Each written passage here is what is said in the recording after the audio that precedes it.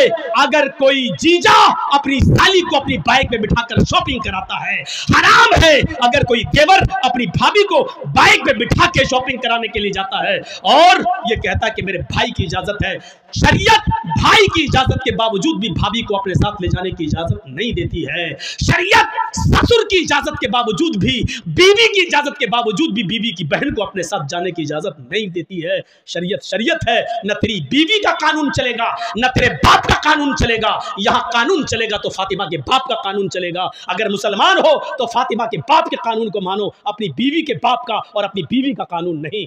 शरीयत शरीयत है, किसी के बाप की जागीर नहीं है। मुझे जो कहना था कह दिया, जिसको बुरा लगता लगता रहे। अगर बुरा लगता है तुम्हें तो अल्लाह की कसम में कामयाब हो गया। अगर मेरी बात तुम्हें चुभी है तो अल्लाह की कसम में अपने जलसे में कामयाब हो गया। और अगर मेरी बात का बुरा नहीं लगा तो हमें सोचना पड़ेगा कि हमारा जलसा कामयाब हुआ है या नहीं हुआ है। क्योंकि जब बुरा ही नहीं लग रहा है तो इसका मतलब यह है कि आप वही करोगे जो करते आ रहे हो। और जब वही करना है जो करते आ रहे हो तो फिर ये जलसा बेकार है। आपका यहाँ बैठना बेकार है। रात के एक बजे, डेढ़ बजे, दो बजे तक यहाँ बैठकर अपनी आँखें फोड़ना बेकार है। क्योंकि आपको कोई सवाब नहीं मिलेगा, मेरे प्यारे साथियों।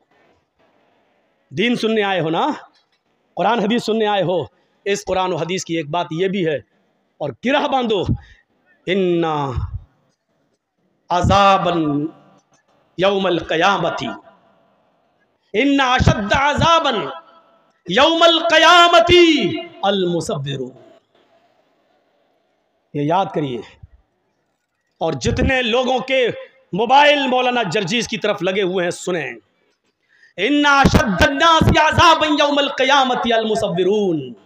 क़यामत के दिन सबसे सख्त अजाब, सबसे ख़तरनाक अजाब उस आदमी को दिया जाएगा जो दुनिया में तस्वीरें खींचता होगा, जो दुनिया में सेल्फियाँ लेता होगा, जो दुनिया में एक अपने मोबाइल से, अपने मोबाइल के कैमरों से किसी मौलवी की तस्वीर लेता होगा या किसी की भी फ़ोटो खींचता होगा। इन्ना अशदन्नास याजाबन मैं हदीस पढ़ रहा हूँ, मुस्लिम शरीफ की हदीस पढ़ रहा हूँ। क़यामत के दिन सबसे ज़्यादा सख्त, मामूली अजाब नहीं, हल्का अजाब नहीं। याजाबन अजाब के एतबार से सबसे ज़्यादा सख्त अजाब उसको दिया जाएगा। अल मुसव्विरून जो दुनिया में तस्वीरें खींचता होगा, तस्वीरें बनाता होगा। खींचो। आओ। मैंने किसी को इजाज़त नहीं दी। और इसके बावजूद भी अगर कोई मेरी तस्वीर को खींचकर अपने साथ अगर लेता है तो वो सुन ले और समझ ले। और इस जल से इस हदीस को सुनाने के बाद भी अगर कोई लेगा तो वो याद रखे कि उसने न कुरान को अहमियत दी है, न मोहम्मद रसूलुल्लाह को अहमियत दी है। उसमें और वसीम रिजवी में कोई फ़र्क नहीं। वो भी नबी को नहीं मानता, तुम भी नबी की हदीस को नहीं मान रहे हो। कोई फ़र्क नहीं है। अब लीजिए जलसा ख़त्म करने के बाद मेरी सेल्फी। देखें कितने लोग लेते हैं। मैंने कह दिया कि उसमें और वसीम रिजवी में कोई फ़र्क नहीं। अब जो मोहम्मद का शेदाई होगा, वो मेरा फ़ोटो नहीं लेगा। जो वसीम रिजवी का भाई होगा, वो फिर भी खींचेगा। अब देखता हूँ कि कौन मोहम्मद का शेदाई है और कौन वसीम रिजवी का भाई है। अब देखना है मुझे। खींचो फ़ोटो। नहीं मिसाल देना चाहता था, लेकिन आज दी हमने। आए हो जलसा सुनने। मज़ाक बना के रख दिया दीन के जलसों को। मज़ाक बना के रख दिया है। परचूनी की दुकान, किराना मर्चेंट की दुकान समझ लिया। जो समझ में आया वो अमल करेंगे, जो नहीं समझ में आया छोड़ देंगे। ये तुम्हारे बाप की जागीर चल रही है। इस्लाम के जो हमें पसंद है वो अमल करेंगे, जो पसंद नहीं आया वो छोड़ देंगे। नहीं चलेगा। शरीयत तो मोहम्मद रसूलुल्लाह की नापसंद को भी नापसंद नहीं मान रही है। याद है? अल्लाह के रसूल का मामूल था। असर की नमाज़ पढ़ के आप अपनी सारी बीवियों के घर जाते थे थोड़ी थोड़ी देर के लिए। आपकी जितनी बीवियाँ मौजूद थी, उनके घर जाते थे। और हज़रत जैनब के घर थोड़ा ज़्यादा बैठ जाते थे। क्यों? कि किसी जगह कुछ मिलता नहीं था। और जैनब क्या करती थी? जो आपकी बीवी थी, जैनब बिन जाश वो क्या करती थी? उनके पास शहद था तो शहद का शरबत बनाकर अल्लाह के नबी को पिलाती थी। तो भूखे रहते थे, नहीं मिलता था।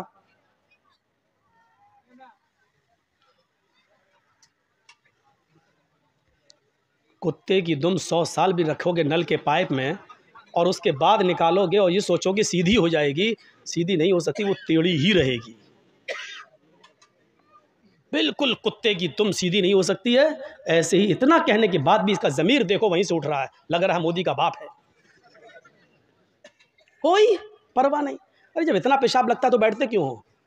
अब अल्लाह जाने पेशाब करने गए हो या मोबाइल पे बात हो गई या फला जगह मिलेंगे, सब यहाँ हैं। बेटा जिस स्कूल में तुम पढ़ते हो, उसका हेड मास्टर रह चुका हूँ मैं। जाकर देख लो। यहाँ जर्जी साहब सुन रहे वहाँ मेला लगा है। आई हैं लिपस्टिक लगा लगा के। ऐसा लग रहा है जैसे अपने आदमी का खून पी के आई हैं। ऐसी गहरी लिपस्टिक। और जलसों में भी क्रीम और पाउडर ऐसा चुपड़ा हुआ है जैसे लगता है कि भैंस या गाय का गोबर लीप लिया। मुँह पे जाके देखो। और अभी मेरे आने से पहले जब हम आ रहे थे, तब देखिएगा क्या हाल था। जहाँ लड़की, वही लड़के, कसम खुदा की कई जगह मिसाल दे चुका ऐसा लग रहा था जैसे एक कुतिया के पीछे दस दस कुत्ते लगे। सुनना पड़ेगा, तुम्हें नहीं, तुम्हारे बाप को भी सुनना पड़ेगा। ऐसा लग रहा है जैसे कुतिया के पीछे दस दस कुत्ते। मोबाइल लेके वो वो इधर बोला उधर जा रहा है। हकीकत में लग रहा है जैसे एक कुतिया के पीछे दस दस कुत्ते। तो अपनी वाली हमें दिखा दे, मैं अपनी वाली तुझे दिखाऊँ, ये मेरी वाली हो तेरी वाली है ऐसा लग रहा है। ये हालत बना रखा जलसों में भी हो रहा है। जलसों में भी। क्या बोल रहा था मैं, बताइए तो। कहा था? हम्म। वो कह रहा, तस्वीर। तस्वीर की बात तो निकल गई अब। हज़रत जैनब बिनत जहाश के यहाँ गए, भूखे रहते थे। तो वो कुछ शहद का शरबत बनाकर अल्लाह के नबी सल्लल्लाहु अलैहि वसल्लम को पिलाती थी, थोड़ी देर हो जाती थी। जिसकी कई बीवियाँ हों तो बीवियों में तो आपस में टसन रहती ही है। अच्छा उनके यहाँ ज़्यादा क्यों बैठ जाते हैं? हमें इतना टाइम क्यों नहीं देते हैं? तो सारी बीवियों ने सलाह कर ली। क्या सलाह की? कि अल्लाह के रसूल जिसके पास भी जाएँगे, जैनब के घर से निकल के जिसके भी पास जाएँगे, सारी बीवियाँ नबी की, ये एक ही बात बोलेंगे कि आपके मुँह से तो मगाफिर की, एक पौधा होता है, मगाफिर एक जड़ी बूटी होती है, उसकी बदबू आ रही है आपके मुँह से। तो अब अल्लाह के नबी जैनब के घर से निकले, दूसरी बीवी के यहाँ गए, उन्होंने कहा अल्लाह के नबी आपके मुँह से तो बदबू आ रही है, हैं? बदबू कहाँ से आएगी? फिर आप दूसरी बीवी के पास गए, उन्होंने भी कहा बदबू आ रही है। जब सारी बीवियाँ एक ही बात कहेंगी तो दिमाग तो कबूल कर ही लेगा ना कि इसका सभी एक ही बात कह रही हैं तो इसका मतलब बदबू। और नबी अकरम को बदबू से सख्त नफरत थी। खुशबू भी आप इतनी लगाते थे कि पसीना भी टपकता था तो खुशबूदार बन जाता था। जिस नबी की हालत ये हो वो बदबू को कैसे पसंद करे? तो कहा क्या खा के आए आप जैनब के घर से? कहा शहद का शरबत पी के आया हूँ। हम्म, इसीलिए बदबू आ रही तो अल्लाह के नबी ने कह दिया आज के बाद शहद को मैं हाथ नहीं लगाऊँगा शहद मुझ पर हराम। नहीं पीऊँगा आज के बाद नहीं खाऊँगा। तो शहद को अल्लाह ने हलाल किया। और नबी ने क्या कह दिया? आज के बाद मैं शहद को हाथ नहीं लगाऊँगा। गौर करो, तुम अपनी मर्ज़ी से जो चाहो पसंद कर लो और जो चाहो छोड़ दो। वो इस्लाम नहीं है। अल्लाह के नबी ने शहद को नापसंद कर दिया। और क्या कहा? आज के बाद मैं शहद को नहीं पीऊँगा। जाओ, शहद मुझ पे हराम। फ़ौरन आसमान से जिब्राइल वही लेकर आ गए। और क्या कहा? या नबी, लिमा तुहर्रिमु मा अहल्लल्लाहु लक। मोहम्मद सल्लल्लाहु अलैहि वसल्लम। अल्लाह ने जिस चीज़ को आपके लिए हलाल किया है आप कौन होते हैं उसको हराम करने वाले? लिमा तो हर लक। आपने उस चीज़ को अपने ऊपर हराम क्यों किया है? जिसको अल्लाह ने हलाल किया। इस कुरान की आयत से आपको पता चल रहा है क्या मतलब हुआ? इसका मतलब ये हुआ कि अल्लाह की तरफ़ से अगर कोई चीज़ हलाल है तो उसको हराम करने का इख्तियार और हराम करने का पावर मोहम्मद रसुल्ला को भी हासिल नहीं है। तो फिर हमें और आपको ये कैसे हासिल हो जाएगा कि हमें जो पसंद हो वो अमल कर लें और जो चीज़ हमें पसंद नहीं है उस पर हम अमल ना करें? जो चीज़ मेरी मर्ज़ी के मुताबिक हो, उसको हम मान लें और जो चीज़ मेरी मर्ज़ी के मुताबिक ना हो, उसको हम छोड़ दें। ये कैसे हो सकता है? जब नबी अपनी मर्ज़ी के खिलाफ शहद को हराम नहीं कर सकते अपने ऊपर, जब नबी को ये पावर हासिल नहीं है तो तुम्हें ये पावर और हमें ये पावर किसने दे दिया है?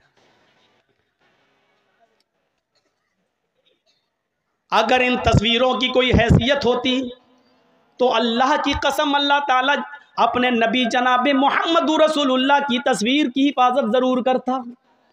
लेकिन देख लो दुनिया में ईसाई भी मौजूद हैं। ईसाइयों के पास ईसा की तस्वीर मौजूद है। यहूदियों के पास मूसा की तस्वीर मौजूद है। दाऊदियों के पास दाऊद सलाम की तस्वीर मौजूद है। इब्राहिम को मानने वालों के पास इब्राहिम की तस्वीर मौजूद है। सबने हिंदू भाइयों के पास कृष्ण जी की, रामचंद्र जी की, शंकर जी की, गणेश जी की, इनकी तस्वीरें मौजूद हैं। अगर दुनिया में किसी नबी की तस्वीर मौजूद नहीं है तो वो हस्ती है जनाब मोहम्मद सल्लल्लाहु अलैहि वसल्लम की। क्योंकि अगर आज नबी की तस्वीर होती तो कोई आदमी नमाज़ पढ़ने मस्जिद में जाता ही नहीं, कोई आदमी अल्लाह के नबी के रोज़ अकदस पे जाता ही नहीं, वहाँ दरूद पढ़ता ही नहीं। वो अल्लाह के नबी की तस्वीर को अपने घर लगा लेता, वो नबी की तस्वीर पे हार या माला डाल देता, या तस्वीर को अपने घर में लगाकर सात चक्कर उसी के लगा के कह देता कि हज हो गया। गया। मेरे प्यारे साथियों, वो नबी अकरम की तस्वीर को छोटे छोटे टुकड़ों में लेकर उसका तावीज बनाता, उसको पहनता और फिर नबी का फ़ोटो अखबारों में छपता, नबी का फ़ोटो पेपरों में आता और कभी उसकी कटिंग होती और वो पैरों के नीचे रौंदा जाता। अल्लाह ताला को अपने नबी की ये रुसवाई और बेइज्जती गवारा न थी। मेरे भाइयों, इसलिए अल्लाह ने जनाब मोहम्मद रसुल्ला की कोई तस्वीर दुनिया में बाकी नहीं छोड़ी है।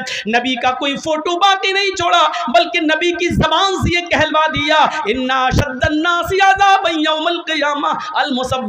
दुनिया में क़यामत के दिन जहन्नम के अंदर सबसे सख्त अजाब उसको दिया जाएगा, जिसने दुनिया में तस्वीरें बनाई होंगी, तस्वीरें खींची होंगी, उससे कहा जाएगा, इन तस्वीरों में तू जान डाल, इन तस्वीरों में तू रूह डाल। और ज़ाहिर है कि उन तस्वीरों में वो रूह डाल नहीं सकता। फिर अल्लाह की एक पैदा करदा। मखलूक की तूने तस्वीर क्यों बनाई? जब उसमें जान डालने की ताकत नहीं थी तो तूने क्यों? आए शादियों में दूल्हा और दुल्हन के फ़ोटो खींचने वालों आए अपने बिस्तरों पर, अपने बेड पर। शादी का, मियाँ और बीवी का फ़ोटो लगाकर बेड पर चिपकाने वालों। मियाँ और बीवी की तस्वीर अपने कमरे में लटकाने वालों। तैयार हो जाओ। इन्ना कयामा। कयामत के दिन सबसे ज़्यादा सख्त अजाब इन्हीं को होगा जो दुनिया में तस्वीरें खींचते हैं, दुनिया में तस्वीरें बनाते हैं। और सबसे ज़्यादा सख्त अजाब तो कयामत के दिन जहन्नम खींच कर लाई जाएगी। जहन्नम के अंदर सत्तर हज़ार लगामें पड़ी होंगी और जहन्नम को खींच कर लाया जाएगा। जब जहन्नम को खींच कर लाया जाएगा, जहन्नम चीख रही होगी। और सुनो हाँ सुनो, कुरान सुनने के लिए बुलाया, हदीस सुनने के लिए जर्जीज को दावत दी तो सुनो हाँ सुनो, जहन्नम जब खींच कर लाई जाएगी अल्लाह कहेगा, अरे जहन्नम क्या चाहती है? जहन्नम चीखेगी और कहेगी उकिल तो बिसलास। आय अल्लाह, मेरे अंदर तीन किस्म के लोगों को पहले डाल, तीन गुनागारों को मेरे अंदर पहले डाल। अल्लाह कहेगा, अरे जहन्नम, बता तेरे अंदर तीन कौन से गुनाहगारों को डालो? सबसे पहले वो नाम लेगी। आय अल्लाह वालिदैन। माँ बाप के सताने वालों को माँ बाप को रुलाने वालों को जहन्नम में मेरे अंदर सबसे पहले फेंक। दुनिया में जो अपने माँ बाप को सताया करते थे माँ बाप के साथ जुल्म करते थे माँ बाप को नजरअंदाज करते थे माँ बाप को खून के आँसू रुलाते थे। पाल पोस कर माँ बाप ने बड़ा किया, उनको अजियत और तकलीफ़ देते थे। उनको तू जहन्नम के अंदर मेरे पेट में पहले डाल। अल्लाह जहन्नम की ख्वाहिश पूरी करेगा और माँ बाप के नाफरमानों को जहन्नम के अंदर डाल दिया जाएगा। फिर जहन्नम कहेगी, शैखुन अल्लाह, मेरे अंदर बूढ़ा आदमी जो दुनिया में जिना करता था, बूढ़े लोग जो दुनिया में जिना करते थे, बुढ़ापे के बावजूद वो लड़कियों की जिस्मों से खेला करते थे, उनकी इज्जतों को तार तार करते थे, उनको बहला फुसा कर और उनको गलत काम के के लिए आमादा करते थे। अय अल्लाह, उन बूढ़े, उन बुज़ुर्ग, जिनाकार लोगों को तू मेरे अंदर डाल। नौजवान से तो एक बार गलती होती है, वो जवानी का नशा है। हालाँकि वो भी जहन्नम में सजा भुगतेंगे।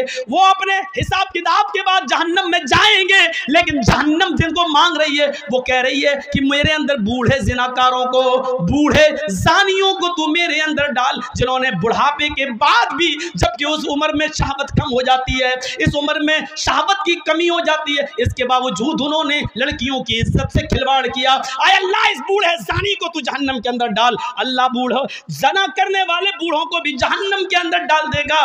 कहे अल्लाह, एक मखलूक और रह गई है तो उसको भी मेरे अंदर डाल। अल्लाह कहेगा, बता, कौन सी मखलूक है? अल मुसविरून जहन्नम चीख कर कहेगी, तस्वीर बनाने वालों को, तस्वीर खींचने वालों को, फ़ोटो बनाने वालों, फ़ोटो खींचने वालों को अल्लाह जहन्नम मुतालबा करेगी, जहन्नम पूछेगी, जहन्नम अल्लाह से मांगेगी और अल्लाह जहन्नम की फरियाद पूरी करेगा और जहन्नम में इन तस्वीर बनाने वालों को, तस्वीर खींचने वालों को भी डाल दिया जाएगा। एक चीज़ होती है, मजबूरी में किसी चीज़ की इजाज़त देना। पासपोर्ट बनवाना है, ज़रूरत है। आधार कार्ड में आपका फ़ोटो लगना है, ज़रूरत है। खींच सकते हो। बैंक में पासबुक के अंदर और बैंक में आपका फ़ोटो लगना है, आप दे सकते हैं। ड्राइवरिंग लाइसेंस में आपका फ़ोटो लगेगा, आप दे सकते हैं। ये चीज़ जायज़ है। ज़रूरत है। आप दीजिए। बिना ज़रूरत क्यों? एक आदमी वीडियो में किसी की तकरीर रिकॉर्ड करता है, लेकिन अपने पास रखने के लिए तो गलत है, लेकिन उसको आम करता है और ज़ाहिर करता है और दूसरी जगह पहुंचाता है। तो एक ज़रूरत है, क्योंकि ये तकरीर आज जिक्रा में हो रही है। तो ज़ाहिर है कि इसको यूपी और बिहार और उड़ीसा वाले नहीं सुन पा रहे हैं। अब वो चाहता है कि ये तकरीर जो जिक्रा में हुई, पूरा हिंदुस्तान सुने, पूरी दुनिया सुने और उसको नष्ट करके दूसरी जगह पहुँचा रहा है। तो ऐसी जगह पर उसकी वीडियो बनाकर तकरीर की गरज से डाला जा सकता है, लेकिन उसमें कटिंग करके ये हरामीपना है। मौलाना जर्जीस ने मोदी को ललकारा। ये हेडिंग बना के। मौलाना जर्जीस ने वसीब अब देखा, मना करने के बावजूद भी वही चीज़ डाली गई है। मौलाना जर्जी, और वही चीज़, मैंने कहा कि वो सब कुछ बदल गया, लेकिन वो बीच वाला हिस्सा कैसे बदलेगा? अपनी मशीन कैसे? उसी को काट छांट कर इन यूट्यूबर वालों ने उसी चीज़ को दिखाया है। अब बताइए कि ये लोग रात में पैदा हुए थे अपनी अम्मा के पेट से कि दिन में? इनकी खोपड़ी देखिए। इनको इस बात का एहसास नहीं कि इस बात को अगर हिंदू लोग सुनेंगे तो मौलाना जर्जिस के ऊपर क्या, कितने केस बनाएँगे? लेकिन इनके अकाउंट में पैसा आना चाहिए, इसीलिए मैं कह रहा हूँ इनका हरामी पना देखिए इसीलिए मैंने अब कह दिया है, जो भी जलसे का डेट दे रहा हूँ, मैं परेशान हो चुका हूँ। ये लोग नहीं चाहते कि मेरा चैनल चले, इसलिए मैं अपनी तकरीर की अब इजाज़त नहीं दूँगा, क्योंकि हमें अपने आप को बचाना है। लग गया मेरे ऊपर बैंड? छः महीने तक जब तक इलेक्शन नहीं हो जाता, यूपी में मैं कोई तकरीर किसकी वजह से? आज सम्मान आ गया मेरे पास। नोटिस घर पहुँच गया मेरे। खुश है ना आप? बांटिए मिठाई और लड्डू। हमने मौलाना जर्जीज के ऊपर बैंड लगवा दिया। मुबारक हो तुम्हें। यूट्यूबर वालों, मुबारक हो तुम्हें। कमाली तुमने दुनिया। बहुत बड़ा किला हासिल कर लिया है। बहुत बड़ा किला हासिल कर लिया है। अल्लाह ताला तुम्हें इस दुनिया में नवाज़ देगा, लेकिन आखिरत में तुम अपना बहुत बड़ा नुकसान कर रहे हो, ऐसा करके। मैंने भीख भी मांग ली थी, दामन भी फैला दिया था। रो कर, गिड़गिड़ा कर तुम्हारे सामने हमने हाथ भी जोड़ लिए थे, लेकिन इसके बावजूद तुम अपने हरामी पने से बाज नहीं आए हो, इसलिए मैं अपनी औकात पर आ गया हूँ। जितने जलसे होंगे, एक भी जलसे में एंट्री नहीं। या तो मैं रहूँगा, या जलसा। जलसे में अगर तुम रहोगे तो मैं नहीं बोलूँगा। अब इस शर्त के साथ मैं जलसा देने लगूँगा। आज मैंने दो प्रोग्राम इसी शर्त के साथ दिए हैं। अब जो दे चुके हैं, जिनमें इश्तहार छप गए हैं, उनमें तो जाना पड़ेगा। लेकिन आज से जो दे रहा हूँ, लंबे प्रोग्राम जो दो तीन महीने के बाद के, उनमें हम एक भी यूट्यूबर को बर्दाश्त नहीं करेंगे। आके दिखाओ आप। जलसे में ऐलान कर रहा हूँ मैं इस बात का। स्टेज पे बोल रहा हूँ इस बात का कि किसी को नहीं आने दूँगा। सोच समझ के आइएगा। हर इश्तहार में अब छपा होगा, लिखा होगा कि किसी यूट्यूबर को इजाज़त नहीं। अब ये लिखा होगा और मैं लिखवाऊँगा। क्योंकि तुम अपनी हरकत से बाज नहीं आए हो और मुझे ऐसा करने पर तुमने मजबूर कर दिया है। चैनलों के नाम मालूम है मुझे। नहीं चाहता हूँ कि नाम लेकर तुम्हें यहाँ रुसवा करूँ और फिर तुम्हें लोग अनसब्सक्राइब करें। तुम्हें, मैं चाहूँ तो पाँच जलसों में उन चैनल वालों के नाम लेकर सबको, हम जो है, जिन्होंने सब्सक्राइब किए, सबको हटवा सकता हूँ मैं। सबको हम हटवा सकते हैं। एक इसको हटा दीजिए, इसको अनसब्सक्राइब कर दीजिए, सब। मैं चाहूँ तो कर सकता हूँ, लेकिन जब तक तुमने कर दिया कर दिया, लेकिन अब नहीं। तुमसे मैंने पनाह मांग ली है। तुमने मेरे आंसुओं की कदर नहीं की। तुमने मेरे माँ के आँखों से गिरने वाले आंसुओं को नहीं देखा। रोई है मेरी माँ। नोटिस पढ़कर। उसको नहीं देखा। माँ माँ होती है। उसका कलेजा अंदर से रोता है। जब सुनती है टीवी पर मौलाना जर्जीज को दिखाया जा रहा है, रोती है। पता नहीं क्या करे हो। तुम मैं नहीं जानते हो कि कितना ख़राब दौर चल रहा है। लोग बहाने ढूंढ रहे हैं। बे, बेकसूर सही, लेकिन बेकसूर साबित करने के लिए दस साल लग जाएँगे कि हम बेकसूर हैं। और दस साल के बाद कोर्ट कहेगी कि जर्जी साहब को बाइज़्ज़त बरी किया जाता है, लेकिन वो दस साल का हिसाब नहीं देगी। करो अपना हरामी पना, दिखाओ। जाओ, आज तक मैंने ये बात नहीं कही है, अब अल्लाह ही तुमसे निपटेगा। न मैं बदुआ दे रहा हूँ, न दुआ दे रहा हूँ तुम्हें। बस इतना ही कहूँगा कि अब अल्लाह ही तुम्हारी खैर करे और अल्लाह ही तुमसे निपटेगा। तुमने हमें रोने पर मजबूर कर दिया, परेशान करके रख दिया तुमने। कहा बदबू आ रही है। छोड़ दिया। लेकिन अल्लाह ने मना कर दिया। तो मेरे भाइयों, किसी को पावर नहीं है। अपनी मनपसंद चीज़ों को ले लो और अपनी मनपसंद चीज़ों को छोड़ दो। ये इस्लाम नहीं है। पसंद आए तब भी, ना पसंद आए तब भी लेना पड़ेगा। फजर में कौन उठना चाहता है? कोई उठना चाहता है? सर्दी के दिनों में होंठ से होंठ सर्दी लग रही है। ठंडे पानी से वज़ू बना रहा। कौन चाहता है कि अपने नरम गरम बिस्तर से उठे, कंबल हटाए, लिहाफ हटाए, रजाई को दूर करे, ठंडे पानी से वज़ू बनाए और मस्जिद में जाए। कौन चाहता है? कोई नहीं चाहता। दिल तो नहीं चाहता। लेकिन करना पड़ेगा। चाहे तुम्हारा दिल गवारा करे, चाहे न करे। क्योंकि अल्लाह की जन्नत इतनी आसान नहीं है कि बिस्तर पर लेटे रहो, तुम उसके लिए उठ कर दो रकात नमाज़ भी न पढ़ सको और उम्मीद रखो कि अल्लाह तुम्हें जन्नत दे दे। तुम्हें नापसंद है, लेकिन तुम्हें करना पड़ेगा। इसलिए करना पड़ेगा, क्योंकि अल्लाह का हुक्म है, यही इस्लाम है। और इस्लाम तुम्हारी मर्ज़ी पर, हमारी मर्ज़ी पर नहीं चलता। इस्लाम चलता है तो अल्लाह और उसके रसूल की मर्ज़ी पर, अल्लाह और उसके रसूल की नाफिस करदा शरीयत के मुताबिक चलता है।